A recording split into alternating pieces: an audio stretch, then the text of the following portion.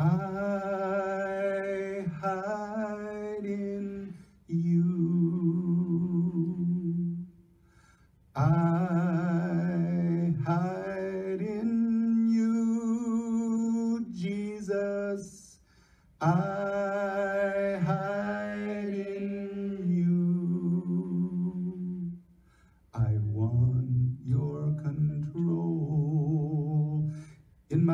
body and soul.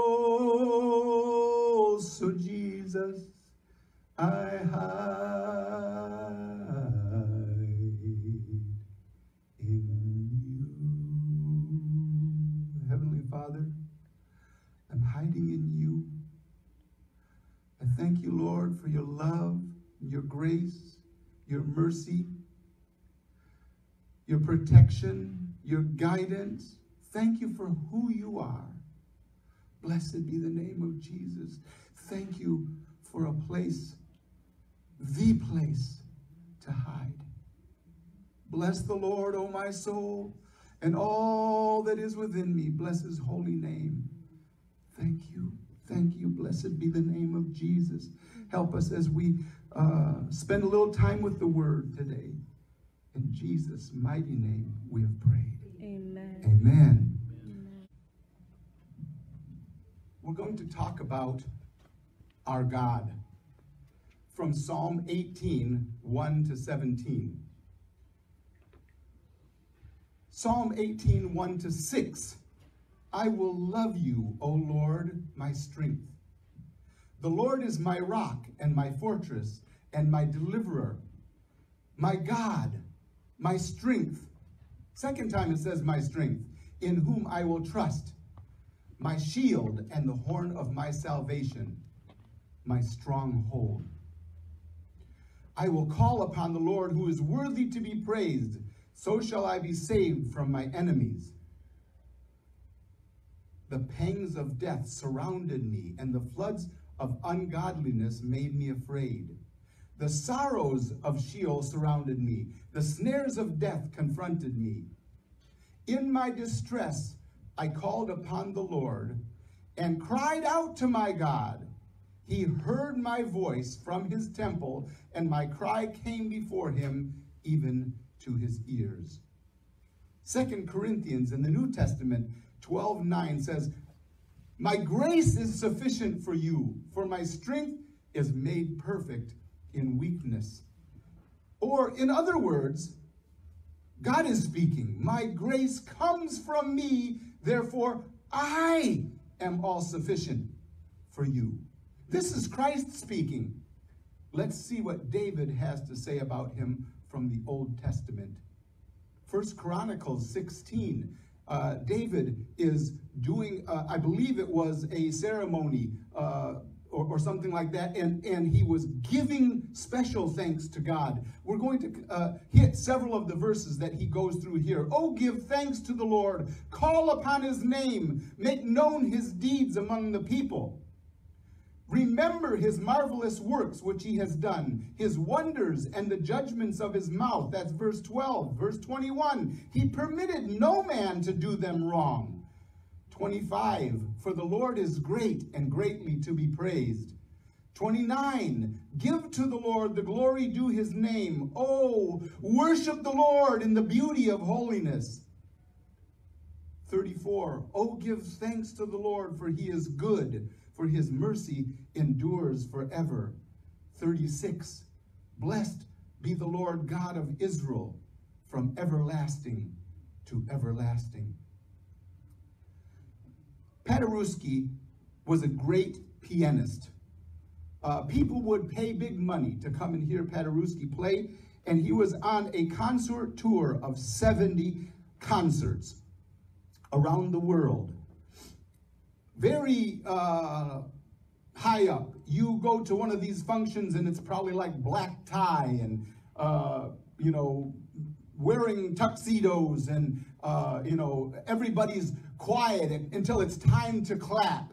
Uh, I mean, you know, really uh, great high society kind of event.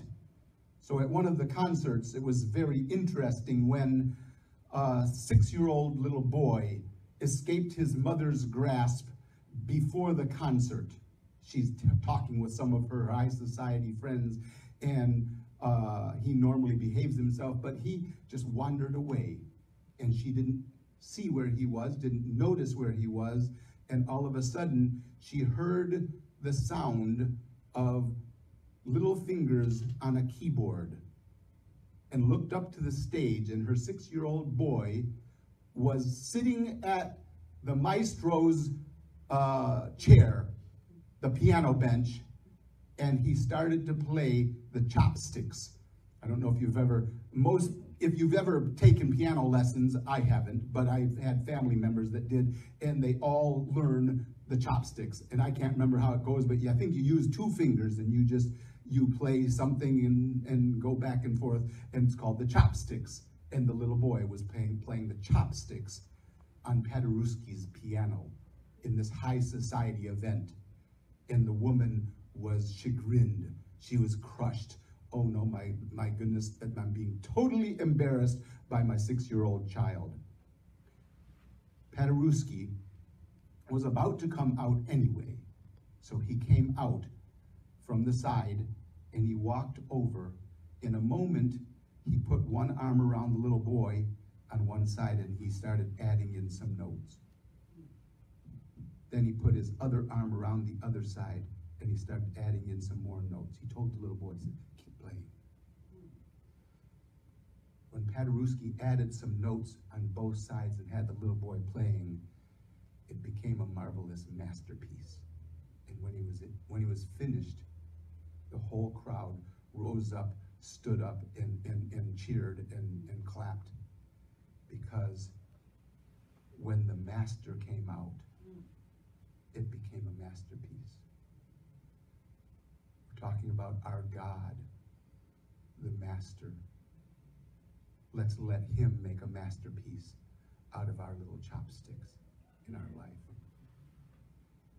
Back to Psalm 18, 1 and 2. David was looking back, thinking of what God means to him. In verse 1, he says, I will love you, O Lord. Adam Clarke says, Love always subsists on motive and reason. So David did not just love God because he knew him to be the supreme being, but because he was good to David. And then he goes into some of the details as to how he meant God was so good to him. God is my strength, he said. Now, I mentioned as we were reading it, there's a my strength in verse 1 and there's a my strength in verse 2. They're different. Let's talk about them for a second. Adam Clarke said, My strength, thou, God, thou who hast given me power over my adversaries and hast enabled me to avoid evil and do good. The difference on this one, this is an external help against specific problems. So I'm working on a business problem and it's not coming together right. And I call out to my strength, my God, and He helps me. External help for specific problems. I'm a mechanic and I have a problem and I dropped a, a, screw down in a place where I can't reach it and, and I'm frustrated. This, this one screw is so important to my fixing the car, the engine, and I can't reach it and I call out to my strength, my God, external help for specific problems. And he literally can help us in those weird moments when we think, okay, God is a spirit. We talked about the angels this morning in Sunday school. And uh, it's interesting, it, it said it, there's talk about angels can go through doors like Jesus went through a door after he was risen from the dead. And yet angels slew 180,000. How does a spirit who walks through doors slay a human being who is a physical body? That's just one of the marvels of the supernatural God of the universe. My strength, my God my external help, he can do things that we don't think We have to learn to train our minds to call on our God, my strength, because he can intervene, my rock. Nelson's expository dictionary says rock from the Hebrew tsur frequently is used to picture God's support and defense of his people. Deuteronomy 32 4, speaking of God, says, He is the rock, His work is perfect. Adam Clarke says, I stand on him as my foundation and derive every good from him who is the source of good. Another connotation of the word rock from the original is cliff or overhanging precipice providing shelter for man or beast, where even bees made nests and honey. So Deuteronomy 32 13 talks about honey from the rock. Well, where would you get honey from a rock? Because bees, bees hang in that overhanging precipice and they build their nests there and they make honey. This is our God. My rock. David is saying, like the overhanging precipice that actually even provides sustenance, honey, sweet sustenance, this is our God, the rock. He's my fortress. Adam Clarke says David refers to these inaccessible heights in the Rocky Mountainous country of Judea, where he had often found refuge from the pursuit of Saul. He is saying, What these have been to my body, the Lord has been to my soul. The Lord's our rock. In him we hide, a shelter in the time of storm. He's my deliverer. Adam Clarke, he who causes me to escape from very close situations. Remember, David escaped the javelin. Saul was so angry. David was there playing the harp, trying to soothe Saul, and but Saul was jealous and angry because this David was getting praise from people that he was thinking, I should get that praise.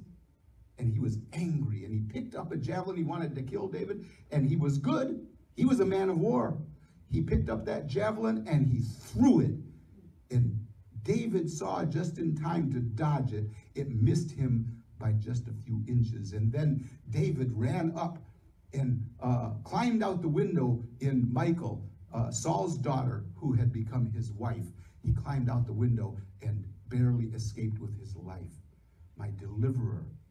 I remember many years, speaking of escaping from narrow situations, many years ago, I was going to Bible college in Illinois and we lived, uh, my family lived in Detroit, Michigan. So I was traveling at Christmas time back to Detroit, Michigan.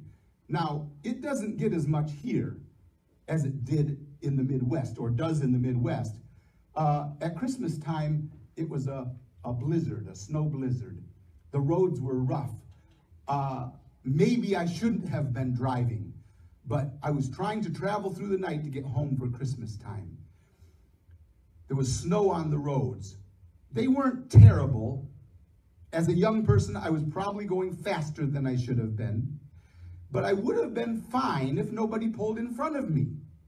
I was traveling in the left lane because there was a semi, a lorry, in the right lane.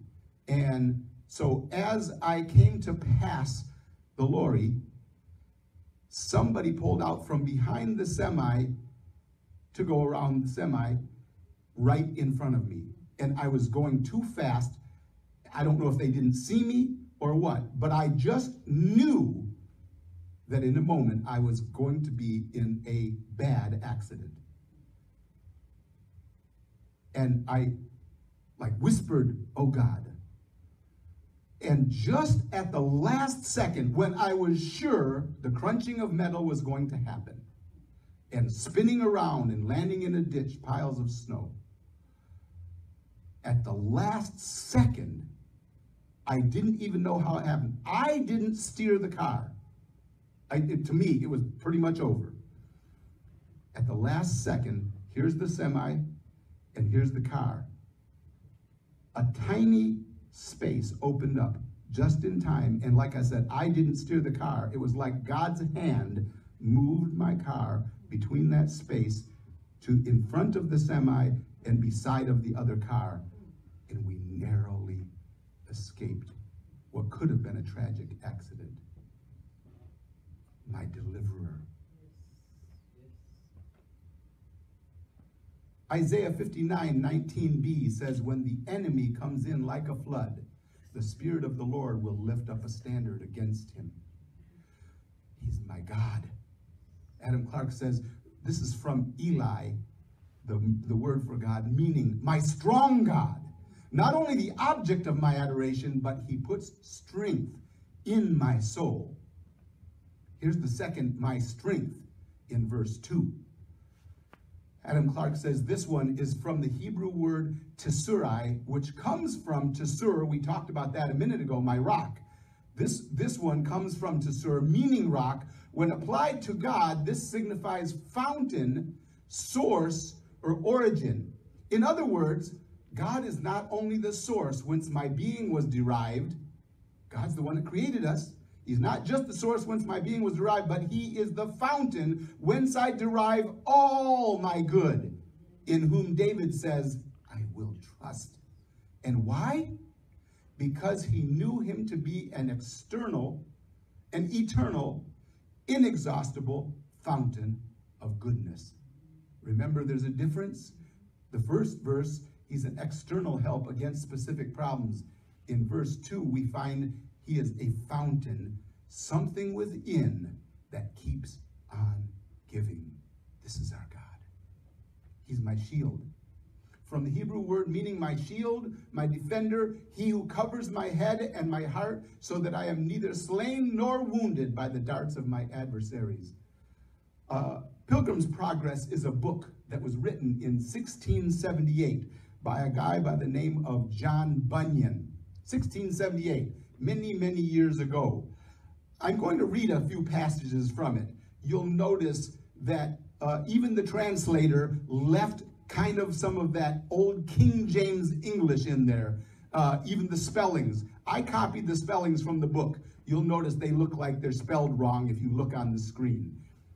But in the book, Pilgrim's Progress, it's an allegory about uh, a Christian, about our life, from the time of being awakened spiritually, before we even become a Christian, we're just awakened spiritually, and conviction of sin is, is happening, and then our journey through until we get to the celestial city, heaven.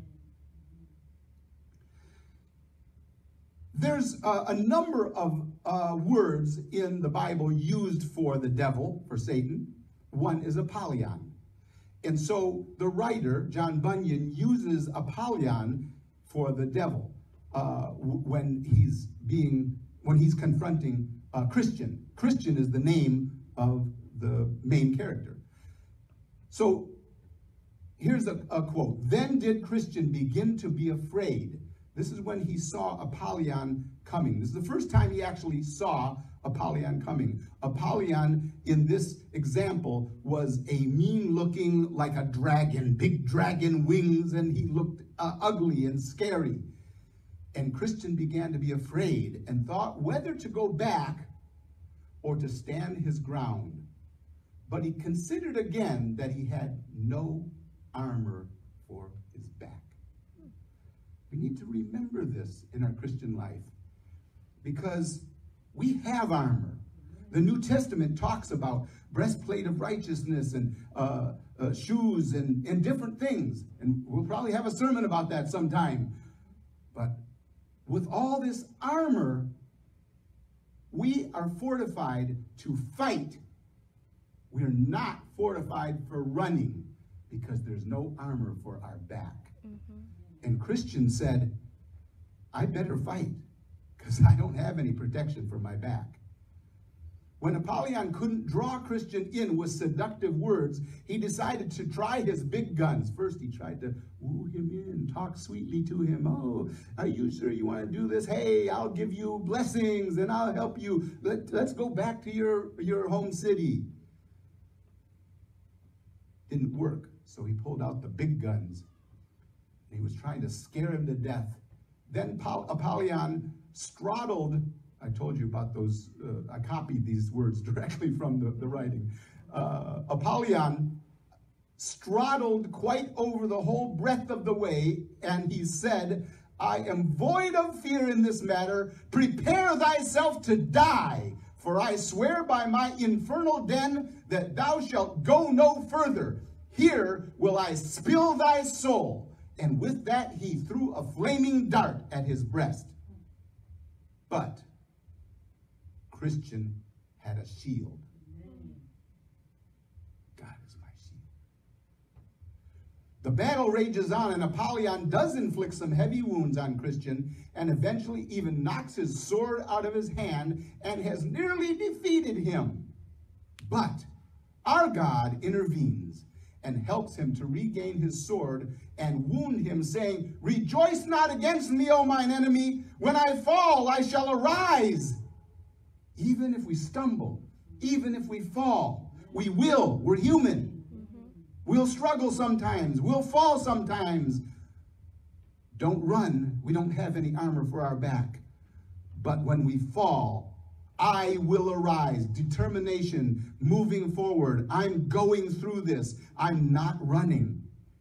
And he said, I shall arise. And he follows that with, Nay, in all these things we are more than conquerors through him that loved us. God is also the horn of my salvation. The horn was the emblem of power. Thus, horn of my salvation means a powerful and efficient salvation. He not only saves me from sin, he's powerful enough to meet my every burden, trial, temptation.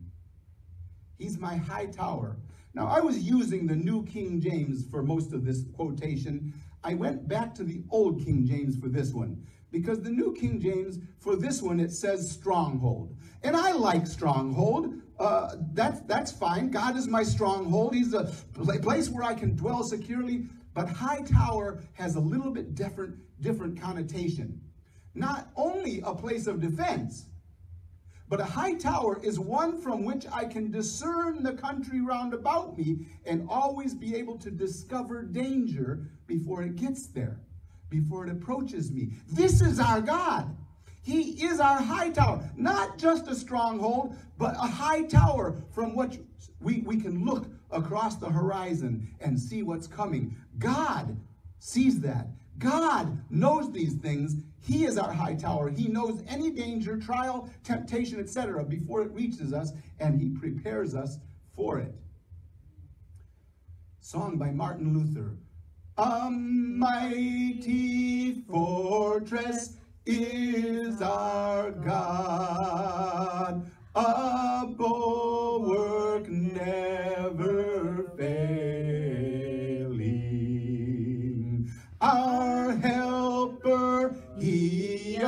amid the flood, a mortal ills prevailing. My God in action. So what does he do? Psalm 18, 6 to 17 covers some of this stuff. In verse 6, remember, we already talked about this one a little bit. David says, In my distress I call upon the Lord and cried out to my God. He heard my voice from his temple, and my cry came before him, even to his ears. And this is what my all powerful, awesome, wonderful Lord did to deliver me from my distress. My God in action. Verse 7 Then the earth shook and trembled. Now there's some poetic language here he uses to describe what the Lord can do to defend us, help us, uh, help us get through our problem, defeat our enemy. It's poetic language, but don't don't deceive yourself. These are things that God could literally do if he needed to to answer your prayer. Then the earth shook and trembled. The foundations of the hills also quaked and were shaken because he was angry. You, did you ever get angry when somebody was picking on your child?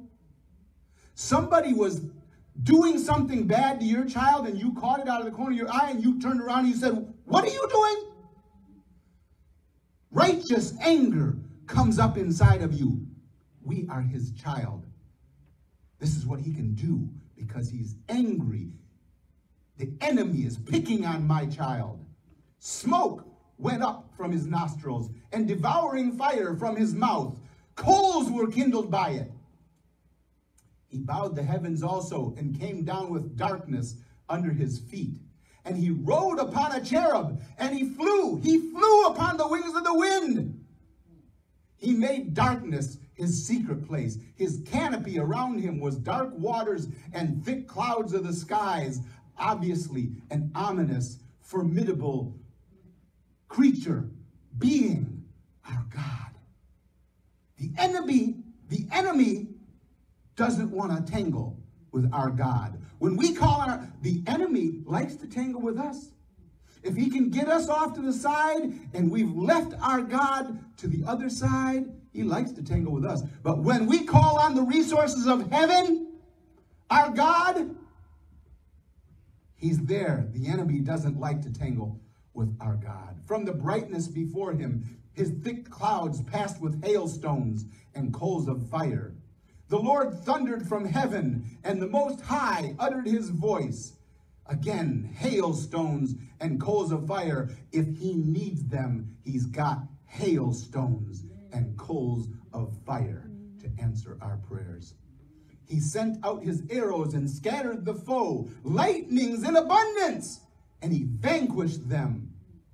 Then the channels of the sea were seen. The foundations of the world were uncovered. At your rebuke, O Lord, at the blast of the breath of your nostrils, he sent from above. He took me. He drew me out of many waters. He delivered me from my strong enemy, from those who hated me, for they were too strong for me. But they weren't too strong for my God. When we realize we can't handle our problems alone, we get ourselves in alignment with the Almighty God of the universe and we turn our problems over to Him, just look what He can do.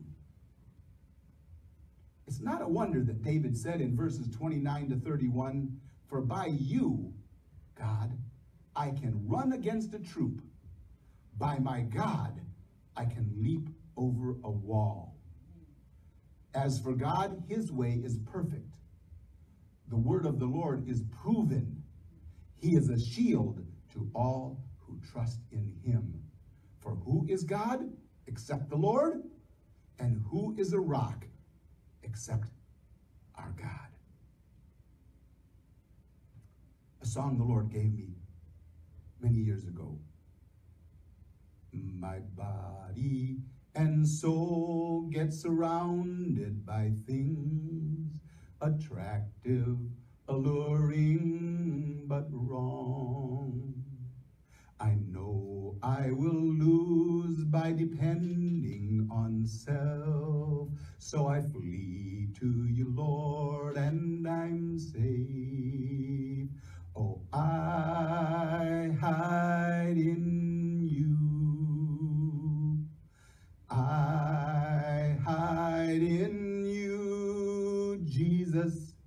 I hide in you. I want your control in my body and soul. So, Jesus, I hide in you. My sins and old nature were nailed to the cross. All I need do is take part in the plan. You were crucified for me, the victory was won. I must only rest in your care. Oh, I hide in you. I hide in you, Jesus. I hide in you. I want your control in my body and soul. So, Jesus, I hide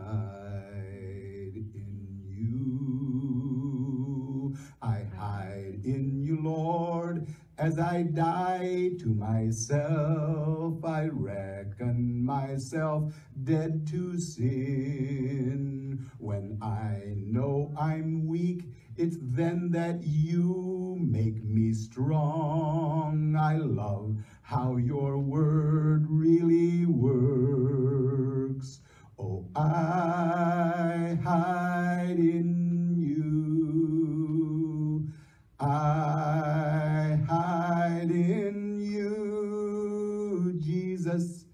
I hide in you. I want your control in my body and soul. So, Jesus, I hide.